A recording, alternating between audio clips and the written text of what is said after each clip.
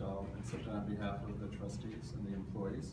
So as Mary said, it's called Exploring the Arc of Women's Suffrage and its relevance to current issues. So partly what we want to communicate is it's not, it's an ongoing issue. There's still uh, women's, uh, girls' issues that need to be dealt with. Uh, so that's going to be part of this, uh, the plan throughout 2017. I think you know that it was in 1917 that New York granted women the right to vote. So next year will be the centennial. Uh, it's not so what year did the rest of the nation grant women the right to vote? Twenty-five. 1920. Uh, so the 19th Amendment uh, was three years, so New York was one of the earlier states. In fact, Senator Gillibrand has already been to the History Center. She is trying to get some money to in play to support celebrating the 19th Amendment. So it might be that some of the groups that we'll be working with over the next year will be able to apply for some funding to continue this work through through 1920.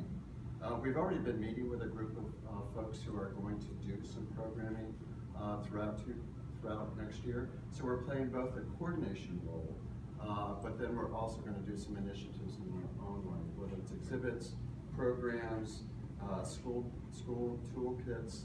Uh, some of the ideas that we're working with others are a play, Civic Ensemble, the Hangar Theater, and another group are hoping to do an original play to uh, to not just girls but to teens in general about the importance of citizenship and taking advantage of the right to vote.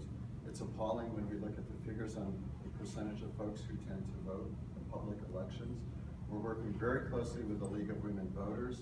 We already have a very strong collection of the League of Women Voters uh, material, but we're adding to it right now. So some programming we'll be doing will be in conjunction with the League of Women Voters.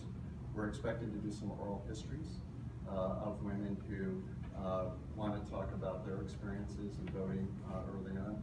I was sitting here thinking about my grandmothers, uh, who as young women would not have had the right to vote yet. Uh, they were both born in the 1890s, so even as young women, they wouldn't have been able to vote. So I was trying to think, what would, what did this mean to them? And of course, I'm old enough that they're no my grandmothers are no longer with us, so I can't ask them, but we want to be encouraging other people to be asking, uh, interviewing uh, their previous generations.